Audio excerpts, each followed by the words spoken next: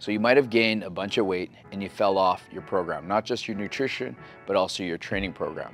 Now, if that happened to me, where I gained some weight and I fell off my workout regime or whatever it is that I'm doing, what is it that I would do? Well, the very first thing that I would do is I believe in hiring the professionals. You need to hire a coach. The coach is gonna be able to sit down, figure out what your problem areas are, and they're gonna be able to help you with your obstacles and then develop solutions with a step-by-step -step plan that's gonna get you back on track. And once we get back on track, that weight's gonna shred off. Now, if you're looking to hire a fitness coach, you're looking into get into a great group of people where you're gonna meet friends that you could potentially grow old with, then go to our website, www.fitclub.fit. We can start you off with the five days. So hiring a coach, whether it be a fitness coach where you come in to do the workouts or a belly burn coach where we're gonna be able to support you, guide you, hold you accountable over 28 days, hiring the coach is the first step that I would take in order for me to get 1% better. The second thing, since I've been there, done that, I would just go back to basics. So I would think of, okay, what workouts did I enjoy? What workouts actually worked? and which environment was I in that made me feel the best, that made me want to continue to come back. So if I fell off, that means that I probably stopped going to the gym, right? But at some point in time, I loved the gym. And so I already know that Fit Club is where I want to be because these workouts are designed for us to shred down, build muscle, and lose the weight that we don't need. We're also got the environment where the music is hype, where the coaches are great, where everybody gets to know your name like cheers. So to me, going back to that environment, going back to basics is the second thing that I would do. The third thing is that I would just remove temptation. So you need to cut out and get rid of everything that I know that is wrong. So for instance, yesterday I'm standing in the kitchen and the kids go into the cubbies and you know in there we've got actually we have healthy choices okay? Like we have the protein bars we have the protein chips we have like fiber gummies like we have the vitamin d's and the you know the multi multis the fred flintstone stuff. So it's not like we're in there and everything is candy and, and garbage right? Actually the choices that we have are better than that. I mean, they're not perfect. They're not whole foods where they're like raspberries and strawberries and stuff like that. You can't keep that stuff into the cubbies, but they are better choices that I would say you can have in moderation. And so for me, to remove temptation, the door was wide open. I just, woo, closed it, okay? I closed it and I don't even go in there, okay? So if I'm focusing on getting to my goals, getting back on track and losing the weight, then the first thing that you need to do is if you got a problem with booze, you either move the booze to the garage or move it to the basement, out of sight, out of mind. Some of you, even better, dump it out.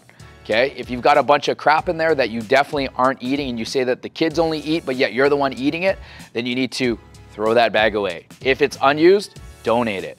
Like get it out of the house temporarily while you can go cold turkey and then you can get yourself back on track. So go cold turkey initially so that you can remove all temptations, and then you can get back to having a little. If you were able to just have a little and stop right there, then this isn't the method for you. But most people, they can't just have a bite. Most people can't just have one drink. Like they gotta go excessively and they think, well, I've already come this far, I might as well keep going and then I'll start again on Monday. And Monday never comes. So you need to remove temptation. This way you don't fall back into bad habits. Then the fourth thing that I would do is make it known.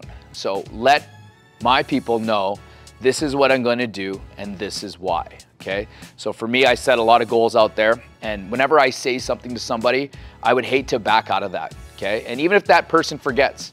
So in this last belly burn, my goal was to have my phone and TV off by 11:15 p.m. every single night. Now you're like, oh, that's late, RJ. But the thing is, I work late. Okay. So oftentimes I'm on my phone doing belly burn check-ins till like 10, 10.30, or I'll get home really late because of kids events, et cetera, et cetera. So the majority of my work is actually front loaded and back loaded. It's the middle of the day where I'm not busy.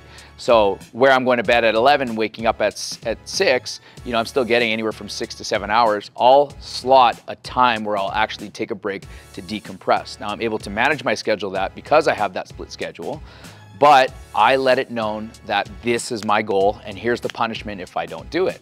So my thing was 11:15, the TV and the phone have to be off. Otherwise, I got to do 10 burpees every time I walk into this class before I teach a class. Well, over the 28 days, 100% success. the people that I asked to hold me accountable, they fell off with holding me accountable, but I set this to myself. I let it known out there to the world. So if I would have fallen off, which I did want to in week three, then I would have told those people that, hey, this, I screwed up and I'm gonna do my burpees. Okay, so once you make it known, that's like a verbal commitment to somebody else and a verbal commitment to yourself. So make it known of what your goals are. Then the last, but probably the most important is that you need to set a short-term goal. And the short-term goal doesn't have to be unrealistic, okay? But the short-term goal could be no food from the cubbies, right? You can't go into the pantry and eat out of there, right? Nothing that you eat comes from that pantry, okay? Even if it's canned tuna or canned chicken, like you make that stuff fresh, okay? That could be one of them. Your other goal could be just show up to five workouts this week, okay? And then the last one could be simple, just hit 10K steps five days a week. Keep it super simple, keep it within five days so that it's obtainable, it's measurable, and you're able to create a reward right at the end. Then you can reward yourself with something small. Okay, so if you go chip free for five days, then allow yourself one snack size chip bag at the end of those five days. This way, you feel accomplished and you get the reward just like an athlete crosses the finish line first. They get a medal. Well, your race is gonna be five days, and at the end of it, you're gonna get one snack sized bag of chips. So if you gained a bunch of weight and you fell off, first thing, hire a coach, www.fitclub.fit, mention get started, Go back to the basics, remove all temptations, even if it's just temporarily. Make it known to your people or to social media that this is what you're doing.